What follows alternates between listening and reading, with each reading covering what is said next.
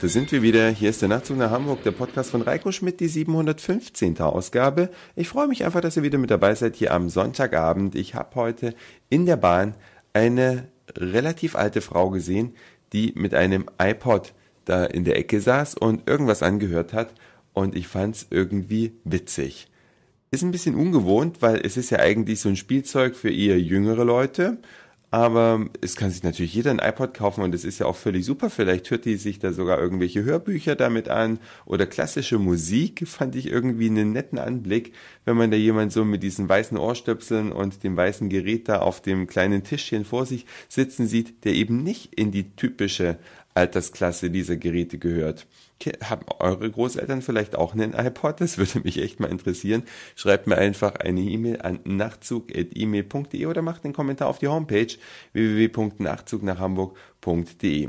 Ich habe ja nun meine Schienenkreuzfahrt heute beendet und ich muss mal eins sagen, es hat alles in allem gut funktioniert.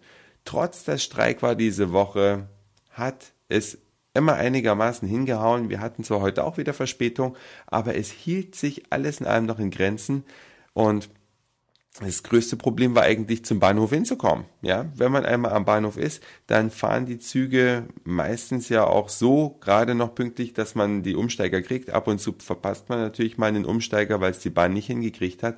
Aber der Weg zum Bahnhof ist eigentlich mittlerweile das Problem. Die Autobahnen sind so was von voll und verstopft und ich musste heute noch durch Leipzig fahren und da war ein Fußballspiel da ging es nicht mehr vor und nicht mehr zurück und ich war echt heilfroh, wo ich die Kiste bei Europcar abgeben konnte und dachte so, jetzt steigst du schön in ICE und wenn der dann das zweite oder dritte Mal hält, dann bist du in Hamburg. Und genau das habe ich gemacht. Zurzeit gibt es sogar noch ein Halloween-Special.